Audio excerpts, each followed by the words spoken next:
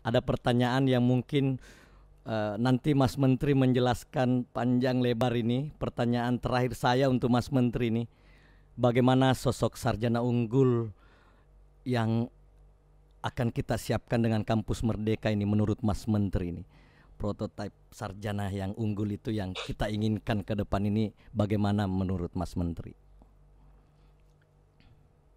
menurut saya profil yang kita inginkan itu tidak ada bedanya sama profil yang kita tentukan untuk peta jalan pendidikan kita. Namanya profil pelajar Pancasila. Ya. Nomor satu, integritas dan spiritualitas. Ya, keimanan pada dirinya, kepada Tuhan, dan moralitas. Itu pertama, yang paling penting. Akhlak dia itu seperti apa? Kedua, kebinekaan. Apa konsep nasionalisme dia. Apa yang menghubungkan dia dengan orang-orang yang berbeda etnisitas, berbeda agama, berbeda perspektif, dan lain-lain. Kebinekaan. Ketiga, kemandirian. Apakah dia seorang yang bisa belajar seumur hidup? Apakah dia tidak harus didorong terus untuk mengambil inisiatif, tapi dia secara mandiri bisa mengambil inisiatif? Apakah dia orangnya rasa ingin tahunya tinggi sehingga dia mencari ilmu secara otomatis dengan dirinya ya? Itu kemandirian. Keempat gotong royong. Kemampuan dia bekerja dalam suatu tim kemampuan dia uh, menolong sesama seberapa efektif skill-skill kolaborasi dia ya? Apakah dia bisa berkomunikasi dengan efektif untuk bekerja dalam tim Keempat, bernalar eh, kelima. Kelima, kelima. Bernalar, bernalar kritis. Apakah dia bisa secara kritis menginterpretasi informasi?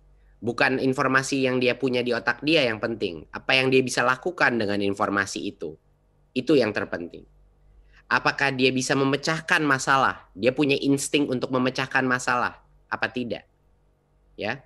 Seberapa kuantitatif cara pemikiran dia? Ya seberapa terstruktur pola pikir dia. Ya, sehingga dia bisa melihat semua masalah semua isu semua berita secara kritis. Dan yang keenam adalah kreativitas. Ini adalah kemampuan beradaptasi kemampuan berkreasi kemampuan untuk membuat sesuatu. Bukan hanya mengerjakan sesuatu tapi untuk membuat sesuatu dan kemampuan untuk tidak selalu diberikan jawabannya atau arahnya. Dia bisa menemukan jalannya sendiri. Itu yang kita maksudkan dengan kreativitas. Enam profil ini, enam profil pelajar Pancasila ini adalah ideal lulusan sarjana kita. Juga lulusan ideal SMA kita. Nggak ada bedanya. Yeah. Ini adalah profil yang kita inginkan karena ini profil yang dibutuhkan negara kita di masa depan. Karena hmm. masa depan kita akan dari sisi ekonomi akan berubah selalu secara cepat. Setiap tahun 10 tahun akan berubah sektor-sektor kita.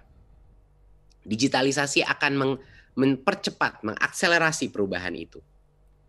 Dan yang terpenting akan bukan orang ini mengerti bidang apa, yang terpenting akan apakah orang ini anak muda ini punya kemampuan dan kemauan untuk terus belajar seumur hidup untuk terus beradaptasi dan berubah sesuai dengan akselerasi perubahan ekonomi.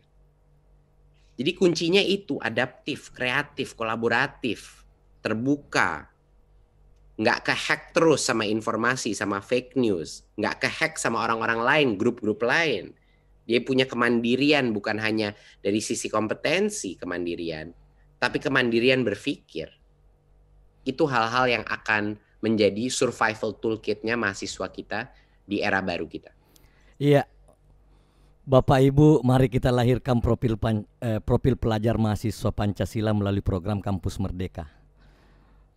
Dengan dengan memiliki integritas dan spiritualitas, kebinekaan, kemandirian dengan keinginan sebagai pembelajar se pembelajar sepanjang hayat, jiwa gotong royong, bernalar kritis dan kreatif.